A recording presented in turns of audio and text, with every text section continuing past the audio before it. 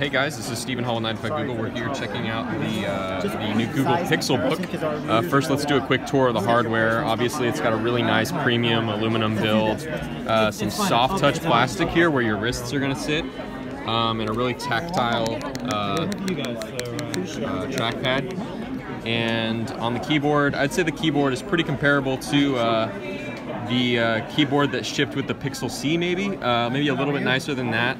Um, it's got a, uh, a dedicated assistant button for activating the Assistant. Um, over here on the left side, there's a headphone jack, uh, which the Pixel 2 obviously lacks.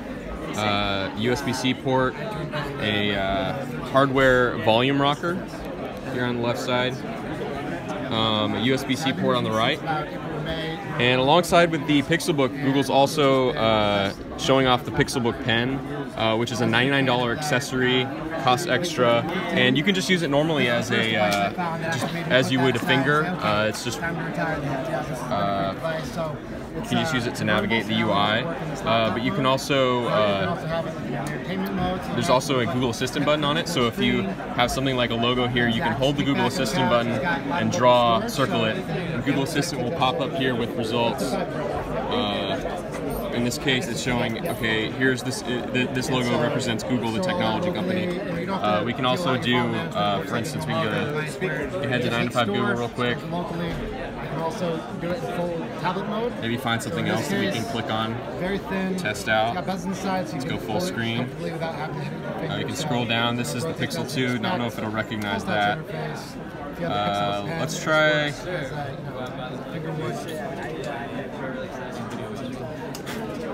Let's try uh, the Google Pixel Bud. See if that see if that shows up. It's got over 2,000 degrees of pressure sensitivity, so yeah. It might be too new. Since this information is yeah, it's too new.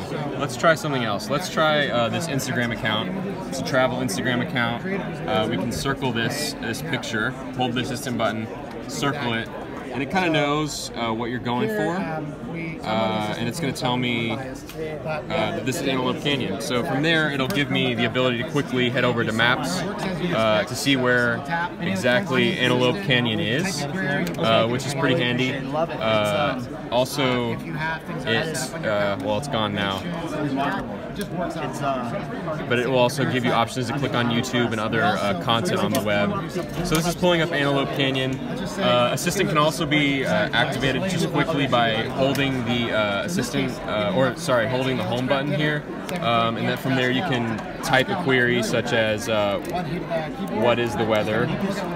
and uh, use the typing version or using uh, interface with the Google Assistant via typing. And then of course, other than that, this is pretty much a Chromebook. Chromebook running Android apps, obviously, but you can multitask. You can open up the Spotify app.